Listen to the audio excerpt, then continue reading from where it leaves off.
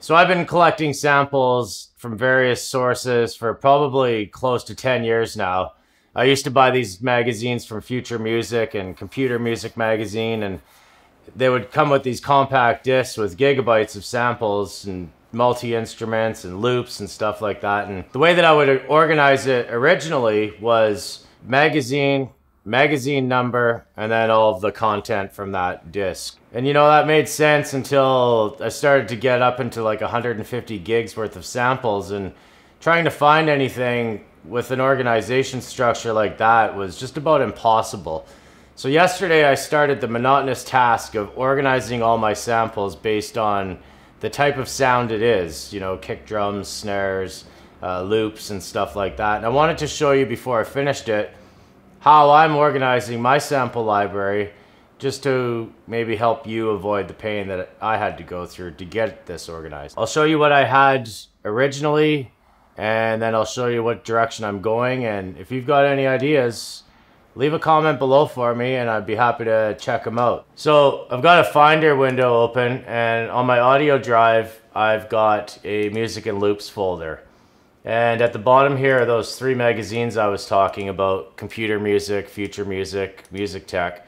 I spent all day yesterday organizing all the somatic sounds and uh, stuff from like Echo Soundworks and whatever. And But before, if I would go to computer music, I would find CM131, and then I would have this three folders in here of classics and uh, CM drum samples and Groove Criminal drum samples, and inside these would be another folder or 10 folders, and then more folders, and then more folders.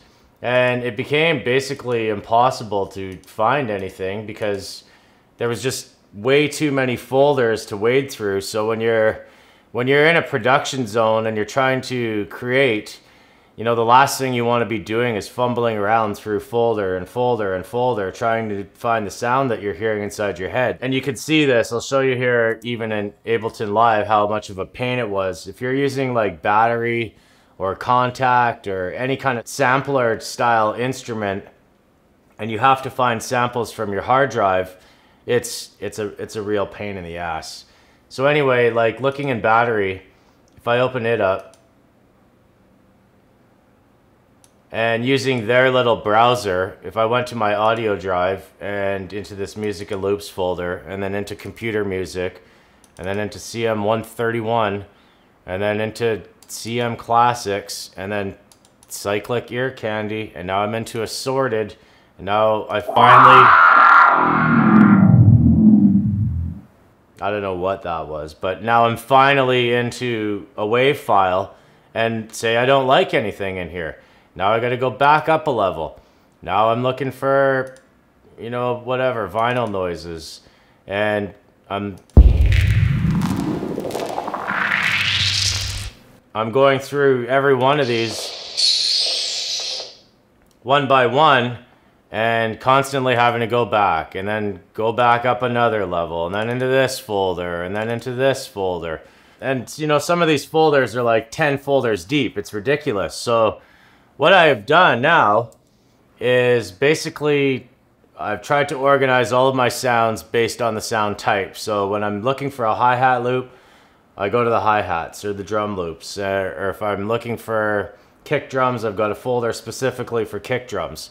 Now, doing it this way, you kind of have to customize folders out of all of these hundreds of folders to get it done right, and it's a bit of a pain to do, but in the end, I think it's going to save a lot of extra time just sifting and sorting and searching uh, at the end of the day. So this is what I've done now. So now I've got in my claps and snaps, I've got all of these different sample packs that just had the claps. And I labeled them so that I know what vendor it came from, what pack it still came from. And, you know, not that it matters, but it's nice to know where your samples are coming from. Uh, I've got construction kits, cymbals, Foley and atmospheres, effects, hi-hats, kicks, loops I've just broken down for now into drum breaks, uh, drum loops and instrument loops. And I'm sure I'll get more granular as time goes on with that, but for now, it's just loops. multi-sample instruments, if I want to make Kontakt instruments, a lot of these discs came with, you know, sampled Juno 60s from C0 to C8. And you can lay those out. Now I know where they are at least. Uh, one-shot samples, just stuff that sort of didn't fit into this folder structure. I've got a ton of these things in here. Patches for Serum or Sylenth or Massive, percussion and shakers, Rex files, snares, toms, vocals.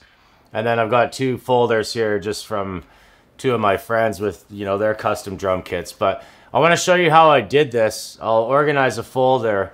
And uh, if you're not doing this already, hopefully it helps speed speed up you and your workflow as well. So if I go into computer music, for example, I'm going to resize this Finder window. And I've got basically another Finder window behind it. I'm on the same spot, music and loops, uh, but with all those things there. So if I go to CM127, and these are 16-bit CM classic samples. I have no idea what that is. It has no relevance to me when I'm searching for something. Or 24-bit Balearic, Balearic Bliss samples. I, I don't even know what that means. And then it's into the vendors here, Cyclic and Groove Criminals and Hat Tricks. And, you know, one's got straight to the wave files, others got more folders. So I'll show you what I'm doing here now just once and then kind of show you in Ableton how easy it is to sift through and find all this stuff after. But with the way I'm organizing it, I'm still using the vendor name. I'm trying to refer to the edition that it came from if it came from a magazine. And if there's any other sort of descriptor words that I can find later through searching, I'll use those as well. So for this cyclic, these all look like construction kits. They've got a BPM, kit 01 uh, is 100 BPM, kit 02 is 135 BPM. So I don't need to like separate all of these out because it goes straight to the WAV files right after. But what I will do is rename this to cyclic and put a hyphen, CM127 and another hyphen, and then I'll grab this Balearic Bliss and maybe the 24-bit, so I know it's a 24-bit file. And I'll copy that, and I'll come over to the folder and press enter and the down arrow and command V to paste it. And that's it. I don't need to know any more than that. I've got a folder for construction kits, so I don't need any more descriptors. I can grab all of these now and just drag them straight over to construction kits. And boom, Bob's your uncle. They're all right there. Now if I go to Groove Criminals, I want to do the same thing. Press enter. Hyphen CM127. And if I paste that 24-bit Balearic Bliss into there and leave a hyphen, for now I just want to see what all this stuff is. So I've got beats. And if I play it,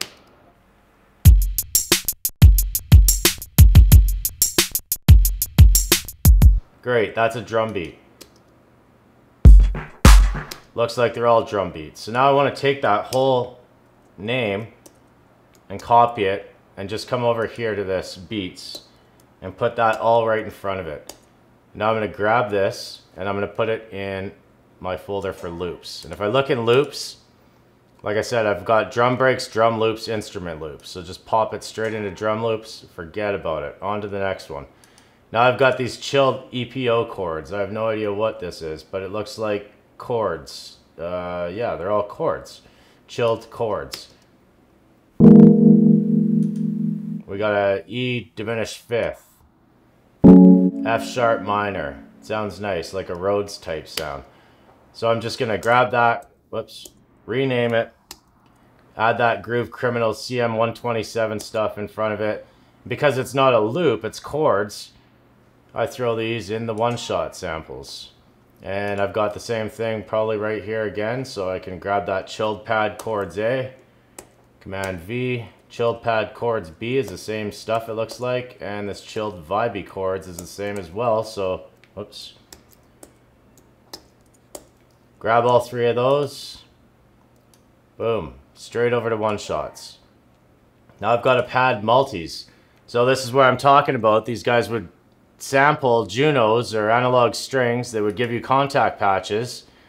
And, uh, you know, from there, I, I haven't even heard half of this stuff. I probably had it for eight years because I just didn't know where to find it. but pads, multis. I want to take all of these actual audio files and I'm just gonna press enter, move my cursor to the front, command V, take all those pad multis and just dump it straight into the multi folder. Done. Now I've got drum hits. I don't want to separate out every one of these snares. Some of these packs have like two percussions, two hi-hats, two snares, two kicks. So this is something I can do later if I want to get granular with this. But same thing. I'm just going to grab it, paste all of that, and put this into one-shots and just be done with it. The one-shots is probably just going to be my next bottomless abyss, but at least it's sort of organized. Now I've got riffs. So if I listen to this...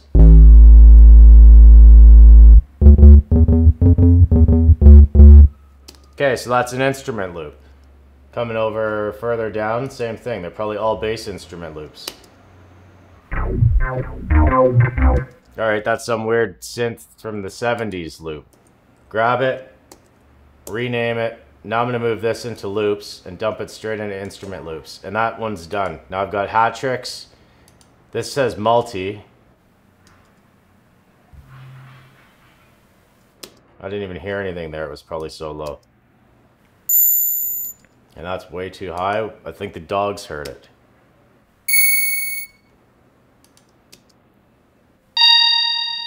Alright, so it's some synth. Whatever, I'll figure it out after if I decide to make a Kontakt instrument out of it. In the meantime, I just need to get it organized. So it's not called Groove Criminals now. It's just Hat Tricks, but I can delete that out. And dump that straight into the multi-file. Great, that whole thing's done. Take all that stuff out. Here's a thousand drums. I don't even know why you would need a thousand drums. I have no idea who made this, so I'm just going to take... Take this 16-bit CM Classic samples. I'm to name it CM127. And I'm to put a hyphen. And that's it, actually. I don't even... I don't care that it's a thousand drums. It's hi-hats. Good enough for me. I'm going to grab that name right in front of hi-hats. Command-C. And now I'm going to go to junk and I'm going to go to kicks and rename it. And I'm going to go to perks and rename it. And I'm going to go to snares and rename it. I think you get the idea by now how to organize this, right? Take the snares, move them over to the snares folder. I got perks, percussion, move that to the percussion folder. Kicks, I got kicks, put it in the kicks folder. I got junk, which is probably just junk sounds tapping around for, you know, whatever. Yeah, junk sounds. So I made a Foley sound, or a Foley folder. I'll just put it in there for now. Hi-hats. Great. So the cool thing about this now, that disc is done. Everything's organized into its respective category. Hopefully, you know, I'll be able to find that sound if I'm looking for it in the future. But the nice thing with live, and even with uh, now with all these Kontakt instruments and battery instruments, if I go into music and loops, now I'm looking for a hi-hat. So I've got all the hi-hats within these folders and they're all like literally right there now. I don't like that one, great, I'll just move down. And I've got closed open, whatever. Looking in Ableton in their browser, you can add that music and loops folder straight to the browser under places. And if I want to clap and a snap, everything can be done from your keyboard from here highlight what you're looking for. Right arrow to open up the claps and snaps. I've got a Boy Wonder kit number one clap. And now I can just move down. And now I can just move down through all of these. If I don't like any of those that I'm hearing, left arrow, left arrow, close the folder, down arrow, right arrow. And I'm moving on. So anyway, that's it, you guys. It's nothing earth-shattering or groundbreaking. If you're doing this already, kudos to you. I wasn't. I had a lot of sounds that I didn't even ever look at because I would just go into this deep vortex of folders within folders of folders. And it's frustrating when you can't get the sounds you want quickly when you're trying to make something. It really pulls you out of flow. And I think to me, the whole purpose of, you know, production, the goal is to be able to move quickly and being able to find your sounds is one of the ways that you can move quickly. So Like the video if you like the video, subscribe if you want to. I hope you got something out of it, and I'll see you in the next one. Peace.